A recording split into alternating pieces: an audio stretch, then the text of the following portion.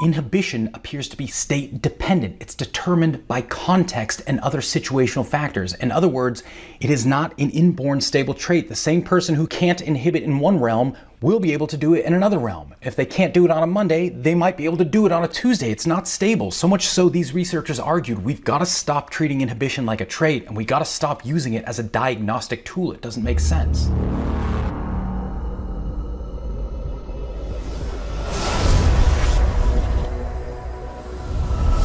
Hello, everybody, and welcome to this week's From Theory to Practice, where I take a look at the research so you don't have to. Now, the article I've selected this week is called On the Unreliability of the Stop Signal Task Measures of Inhibition Lack Stability Over Time by Thunberg and colleagues. How dare you! Now, I selected this paper because it's raised a lot of questions in my mind that I'm still kind of battling with, so I thought I'd just share those all with you. So, to understand what's going on, we have to talk inhibition. Now, as you know, inhibition is the ability to stop an unwanted action or unwanted behavior, and it's typically a sign of higher order cognitive development. We think of inhibition as a higher order skill.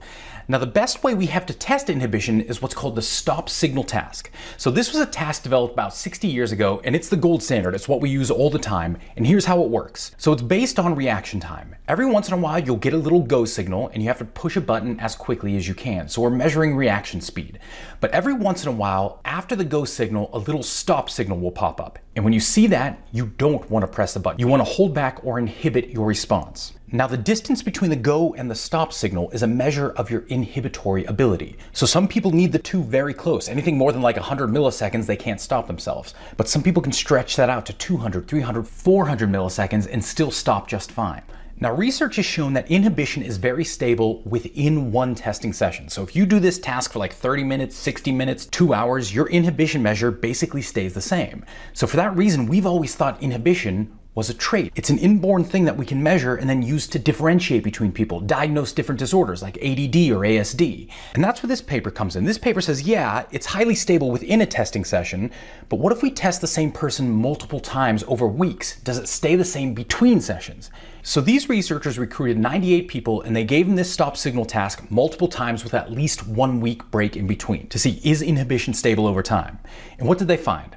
To understand, they ran correlations. Now, what we're looking at is here. Any correlation above 0.75 is considered stable. So that's kind of our marker to determine whether or not something is an absolute trait. So what did they find? Within each individual session, inhibition appeared very stable at about 0.86.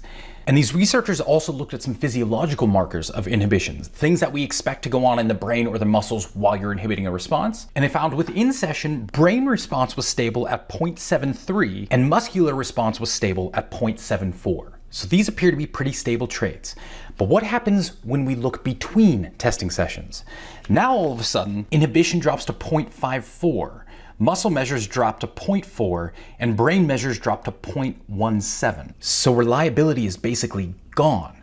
Inhibition appears to be state dependent. It's determined by context and other situational factors. In other words, it is not an inborn stable trait. The same person who can't inhibit in one realm will be able to do it in another realm. If they can't do it on a Monday, they might be able to do it on a Tuesday. It's not stable. So much so, these researchers argued we've got to stop treating inhibition like a trait and we got to stop using it as a diagnostic tool. It doesn't make sense.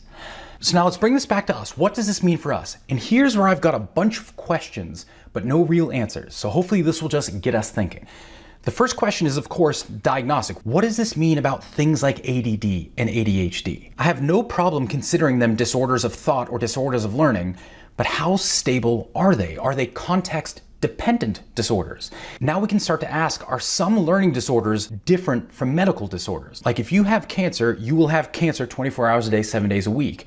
But with psychological disorders, maybe they are situationally dependent. In which case, we can start to ask what context bring it about, and can we start to remediate or play with those contexts? Which leads to another question what are some other things we believe are stable inborn traits that simply aren't? We treat them as such, but they're state dependent.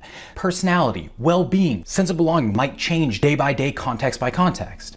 Which brings us to another question how then do we measure the things we care about? A lot of schools are now trying to give learner profiles. How creative are you? How collaborative are you? How outgoing are you? When we measure these things and we give kids a single score, we're treating those like traits, but they most certainly aren't. There's every chance that a kid who's creative in one class wouldn't be creative in another. Or a kid who has a sense of belonging in math class doesn't have it in science class.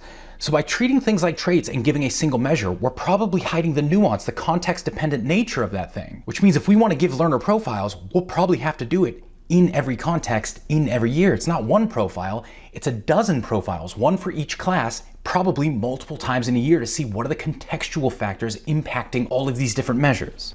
Again, like I said, this paper hasn't supplied a bunch of answers, but my goodness, it's giving me a lot of questions that I've really been milling about, and I hope it kind of raises the same questions for you. For 60 years, we have assumed we can measure this inborn thing, and now we're starting to see there is no inborn thing. We've been measuring an ephemera, and where else are we unknowingly doing that, especially in school? So thank you all so much for watching. I hope you got something good for that and some good ideas to kind of toss around. If you like what you saw, if you can give us a thumbs up and subscribe below, it'll make sure more people get a chance to see this video on YouTube. Otherwise, thank you all so much, and I'll see you at the next one. Bye, y'all.